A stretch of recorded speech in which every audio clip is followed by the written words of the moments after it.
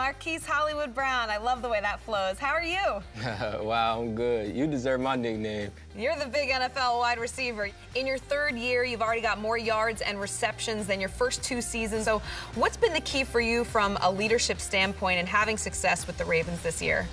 Uh, really paying attention to the details and really just honing in and watching film.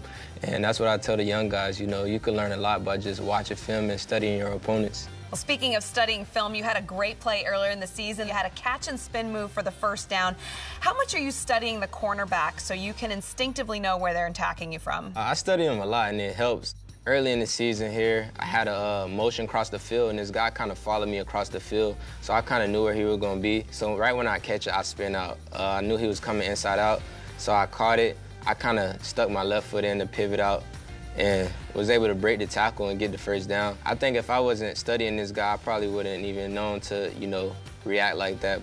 Hollywood, I know you and the guys learned so much from the game based on the technology you're able to have access to. And for receivers that play with mobile quarterbacks, you have such a huge role in trying to extend those plays. So how do you know where to go when your quarterback is scrambling? Uh, we got something called, you know, scramble drill. We all got vertical routes here. You know, our quarterback scrambles right.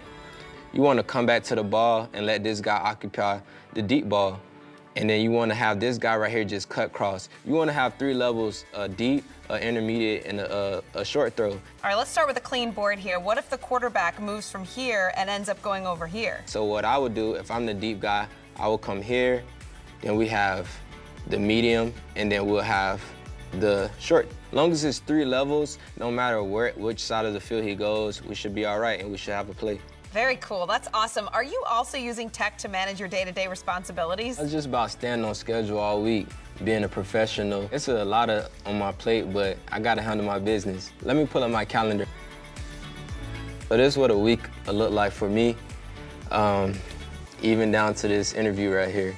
I got a film review, you know, I got my position meetings, I have dinner, uh, down to even my own personal time of just, you know, watching some movies on Tuesdays, you know, some personal time for myself. Is there something that's not on your calendar? Uh, definitely. Uh, something that takes a lot of my time that's not here is probably video games. Uh, I'm a gamer. Uh, I stream. So that's something that I do probably every single day. hey, Hollywood, I know I've kept you a long time, but uh, one more thing I've got before I let you go, and I'm going to do a little snap assist here on Windows 11, and I need a snapshot assist from you.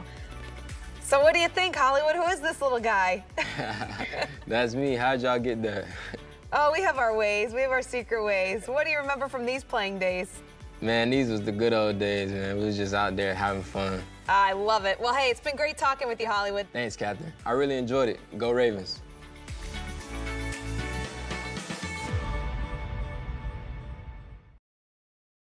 Hi, I'm Mike Tirico, and thanks for watching. Make sure to hit subscribe for the latest news and highlights from NBC Sports.